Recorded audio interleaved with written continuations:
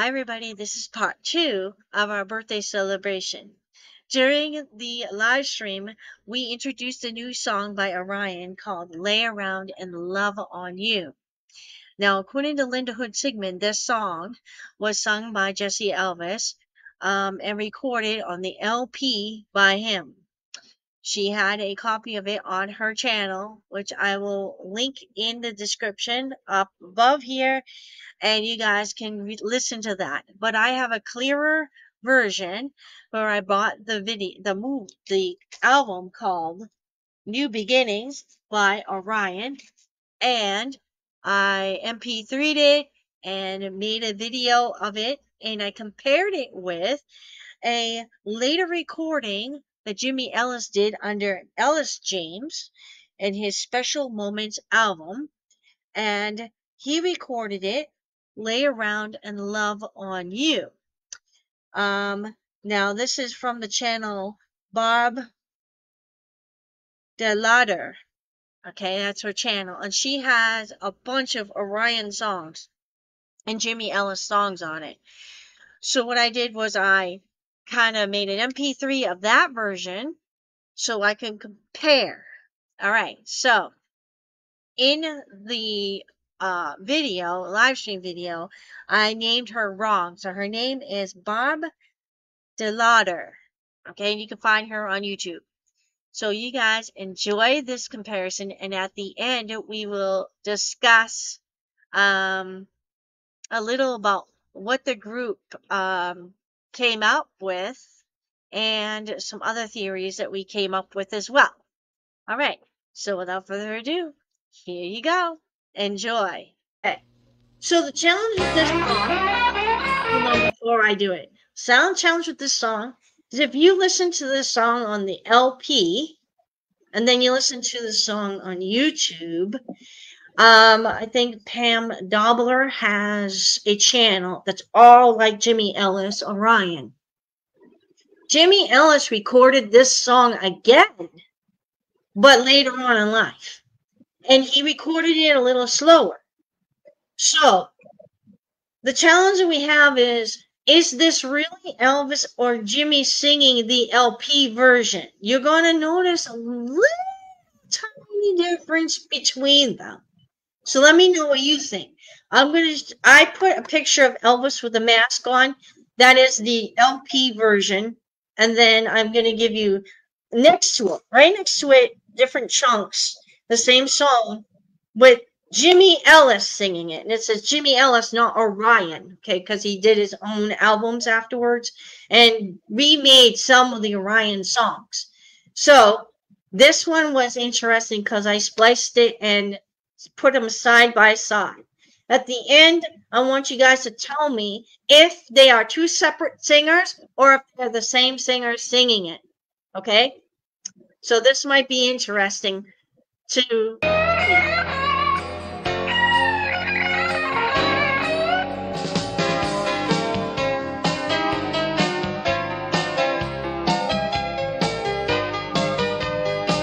It's Monday morning and it's 6 a.m.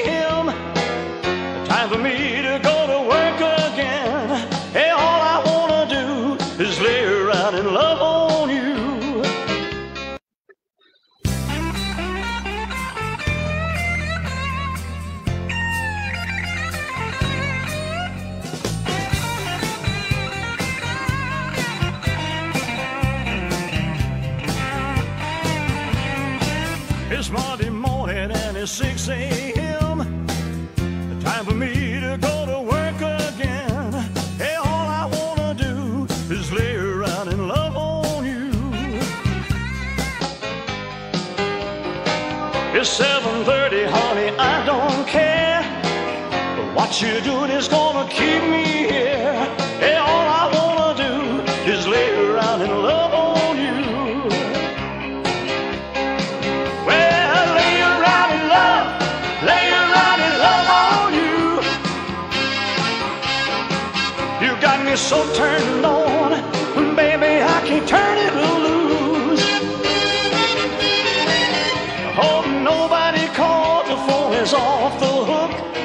We're gonna try everything in that book.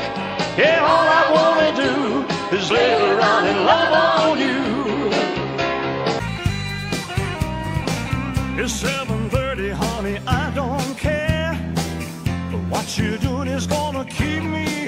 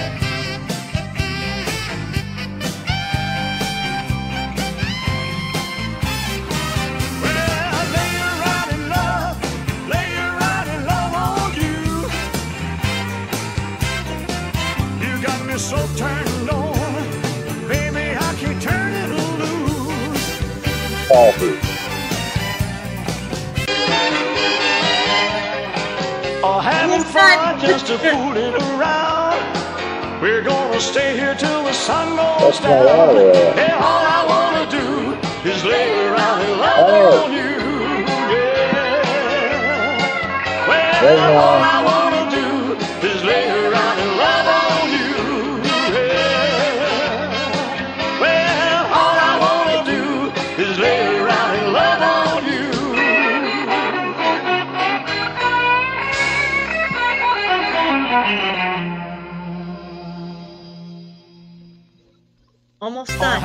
fun just to fool it around.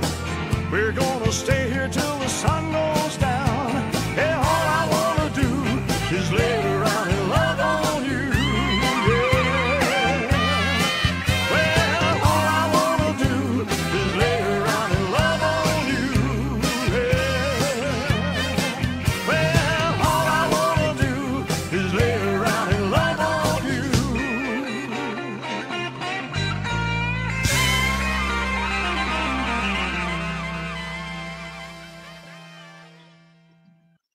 Okay, so what's the verdict? Uh, the second one's Elvis. Really? That's what I think. You think the first one or the second one is Elvis? 'Cause second the one. The one is second. the one that's That's- Elvis. That second one's Elvis. Really? Yeah. I don't know about that. Let's see what everyone else thinks. I think it's the first version that's Elvis because it had a little bit more punch uh, and a little higher, but yeah, a little faster. And that is the version that Linda Hood Sigmund had said was Elvis. So we're Well, There's a, bu- gonna figure it out. there's a bunch of people in the comments saying the same thing I did. That the second one's Elvis. Really? Okay, well, Yeah. let, let me go through this because I don't see all the comments yet. All right. So it is so dreamy, no matter what age. Yeah, he is. And he's still got he's got a voice like I guess they say it gets sweeter with age. That's what I heard. Anyway. Gaston said she misses she agrees she feels she missed his fans and got tapped. had to do what he had to do. Needed sadness of our hearts, but love him no matter what. Yeah. Okay, I'm gonna move this video because I can't see it. Yeah. Ah, now I can see this a little better. Yeah, the kitty. My cat is so wild right now, Rita. I think he does need catnip to make her sleep. All right. Anyway. Okay, that was resurrection she's talking about. He has lived more every day in all new generations. She said, Thanks for the prayers. You're very welcome. It's okay, Joy. I finally found it. Yes, and I believe it's still going to be taped on Facebook, and I will put it on the group or underneath one of the events. And I'll take the other event down because it's too confusing. Anyway. Woohoo on the numbers, yeah. I went through, uh, I think 300 and took 300 off, I think we gained like 20 more or something like that. But everyone just has to answer the questions. That's all I require now. Sharon Moore. Finally found it. Awesome. I'm glad you did. Welcome, Sharon. The first singer not E. The second singer is E. Okay. This is close, but I think the second is E. Okay. So the second is E. All right. And one is E. Wow. All right. So could it be a possibility that both of them were E? Just one is better quality recording, a little faster. The other one is a little slower. I don't know. I have a. They're very close. Like I say, he sounds so close to the Highway 61 album. Which one? Because one is actually Jimmy singing that song. so that's how close their voices are. And that's how they could get away with switching it off. You know, switching places on on um on the stage because you could they could fool anyone. They were the same height, same weight, just different ages, but with a mask, makeup, hair different color. Because Elvis would dye his hair black anyway. Um, the same height, and they would stay the same weight. They could get away with it, switching off. They looked a lot alike, and they sounded a lot alike except one pronounced differently than the other. There was one pronounced book and look and a couple other words differently, but not by much. They're very close. Sharon says the first one, okay? Yes, they are very close. And I agree. They're very close. At first, when I heard it, all right, this is my opinion. Linda had said on her site she had a copy of it, but it comes out so like she had such bass in her recording. It was like recorded off of like a an album, like a, speakers and stuff and subwoofers, that it came out all muffled sounding. When I got the album, I put it on the MP3 like this, one of these, and put it in the computer.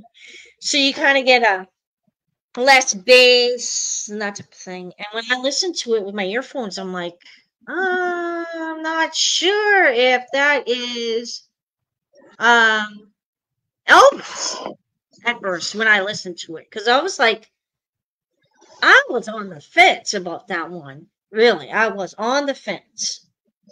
But she said it was him. And she said, you know, he gets all our mailing and everything. So he would say if it wasn't him.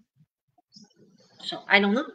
But that would be the first recording, not the second recording. A second recording was from uh, Jimmy Ellis's albums later on, and he slowed it down. You know. I really loves. Okay, so the verdict of the group was Jim thought the second one was Elvis. After we had a discussion on the phone, the day before and I had him listen to Linda Hood Sigmund's version uh, recorded. He said, Oh no, that's Elvis singing that. Okay. So he changed, he flipped on me. So it kind of shocked me, all right, on the video. But anyway, all right. So this is the tally that we have in the group so far. Now, might change in the next couple days or whatever. So, anyway, the first song sung by Elvis, we had six votes. The second song sung by Jimmy was six votes. The second song by by, by Elvis was nine votes. Um, nobody said anything about the first song not being sung by Elvis. So that's another thing. So we don't know if they wanted if that was they were implying that Jimmy was singing the first song. I don't know. All right.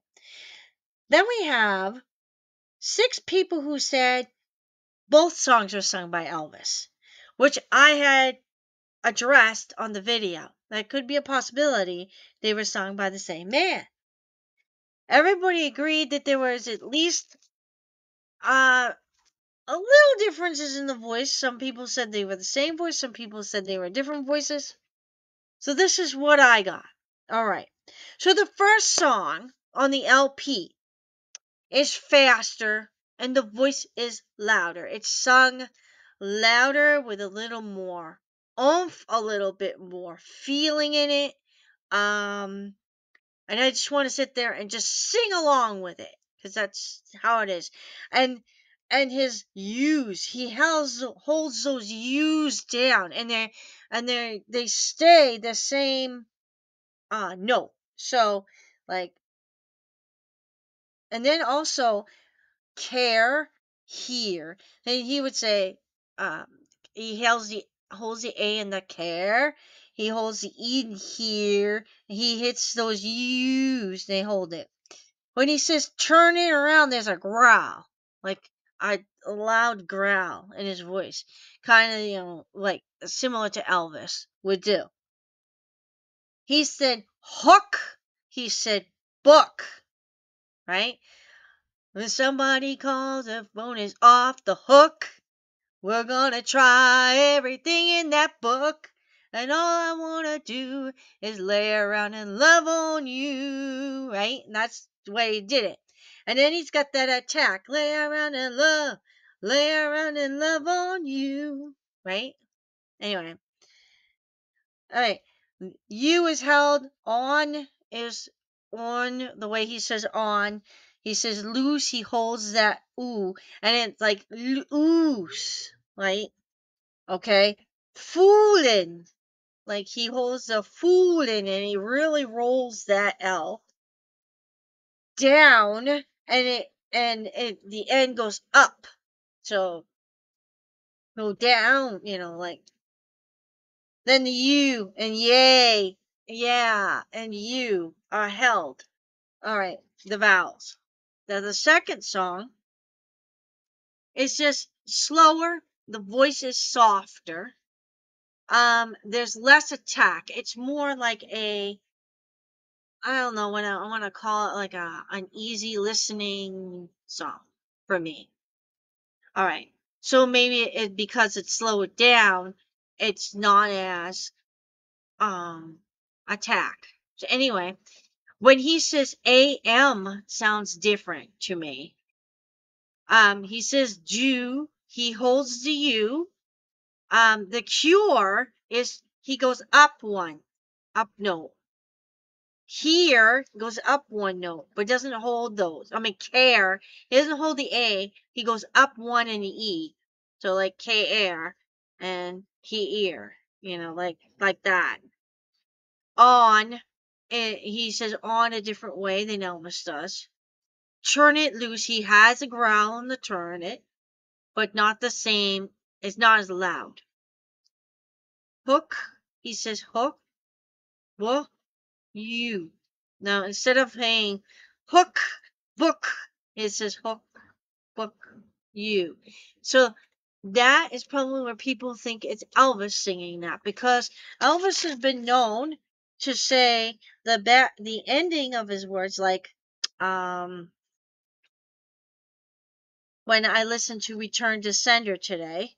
He said the last the last um the letters D like hand. He says hand. Understand. He says understand. He doesn't say the D. But that doesn't mean he doesn't say the C. Like rock, he says C. Okay?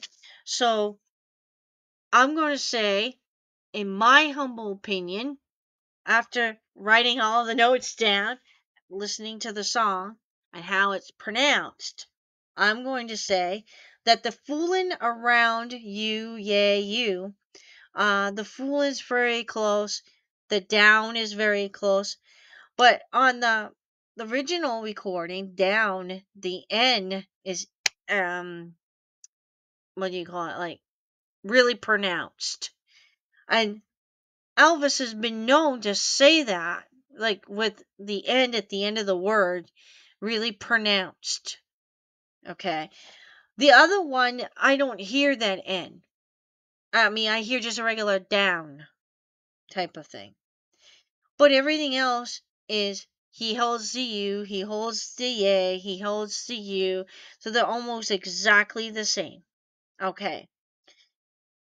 So it could be a possibility that Elvis recorded it as James Ellis.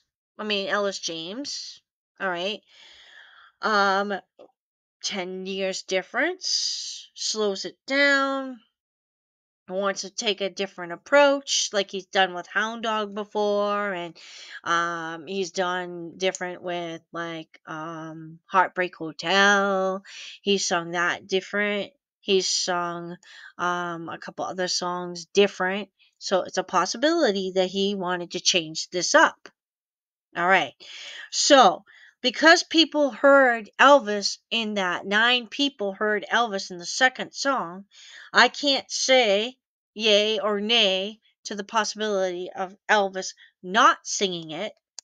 So I'm going to make my decision that it's sung by Elvis. Both of them are sung by Elvis, just at different time periods. And maybe he wanted to change it up to make it sound like Jimmy. Don't know if it really is Jimmy that's saying it, then we have bad ears and we need to go back to the hearing department and listen to more Elvis Presley. All right. I'm going to say definitely the first song was sung by Elvis. I can feel the I was like almost like this at the end of the song. I'm like, yeah, I love it. I want to re I want to redo it over. The second song just fell flat and I didn't want to do it over. so that's my opinion. Okay. So there will be no wrong answers or replies on this one. You guys can decide for yourself. Was it just the first song that was Elvis and sung the second song sung by Jimmy?